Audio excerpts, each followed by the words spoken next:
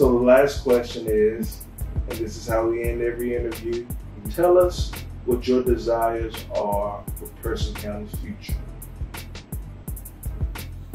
Hmm.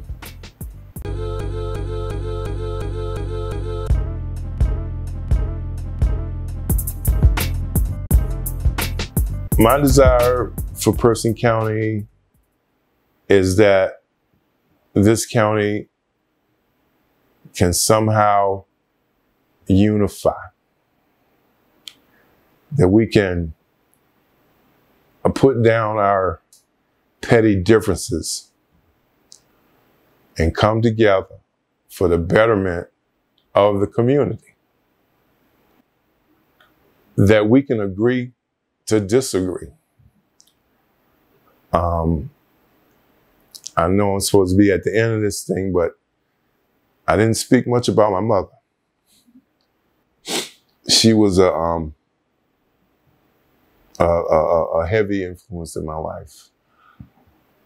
She instilled in me the the thought to to understand people to to try to understand why people do what they do. Why people say what they say. That there may be something going on in a, in a person's life that um, you, you really don't know anything about.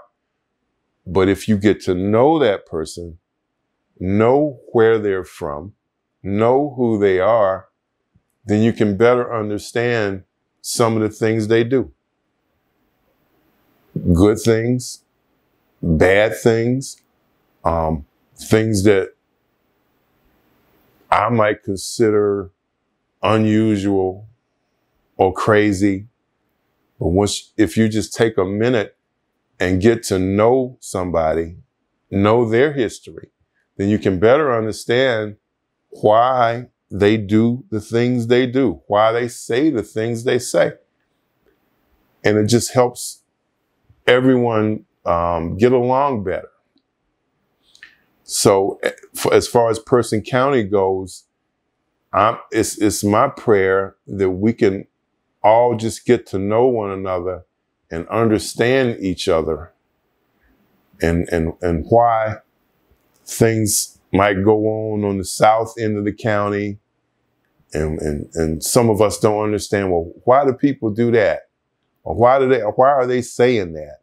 You know, and then there might be something going on on the south side of Roxboro. Well, why is that going on? Why, if you just take a minute to get to know people and then you can understand maybe better understand why they do what they do, why they say what they say. And once you get to that point, it may be a little easier to sit down to the big table and have a conversation. And once again, agree to disagree.